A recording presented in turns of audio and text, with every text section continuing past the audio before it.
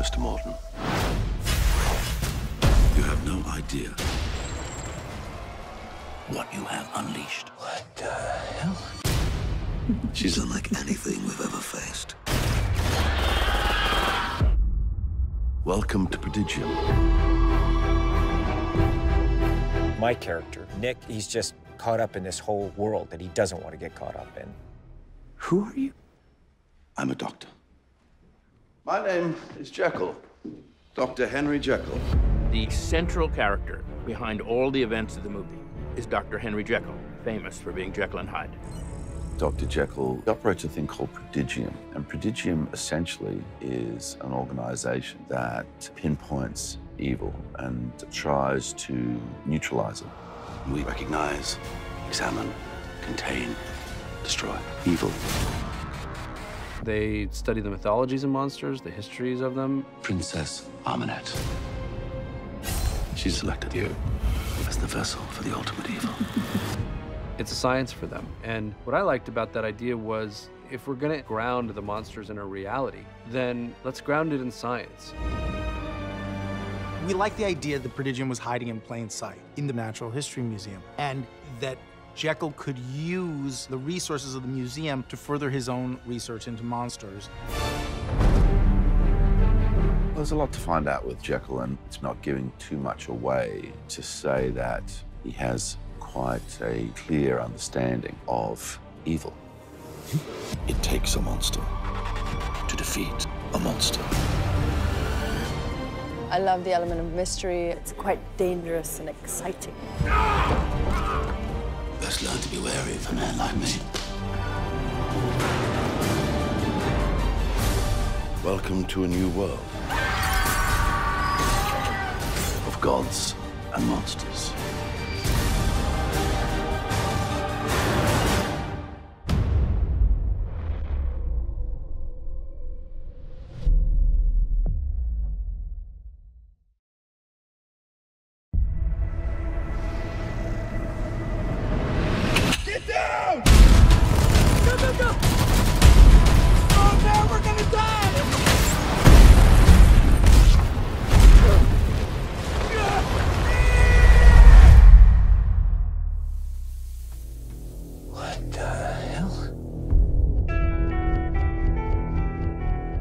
Whatever's in there has been safely hidden for 2,000 years.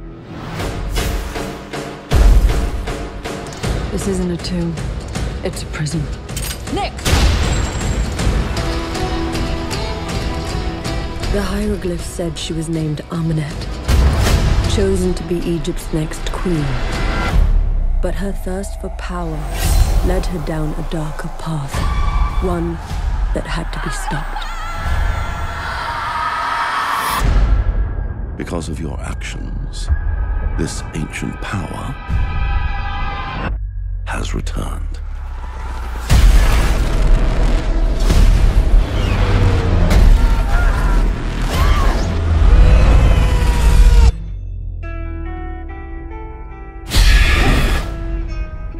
You are alive because you were chosen.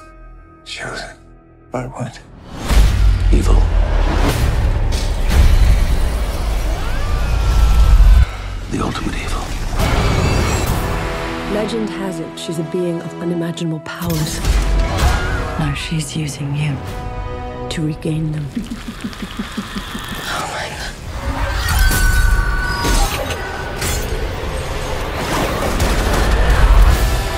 She will not stop until she has remade our world into her own.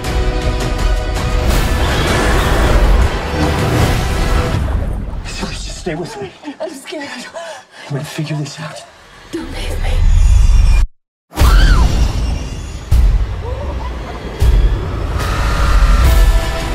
You can't run. You can't escape. She's got plans for you.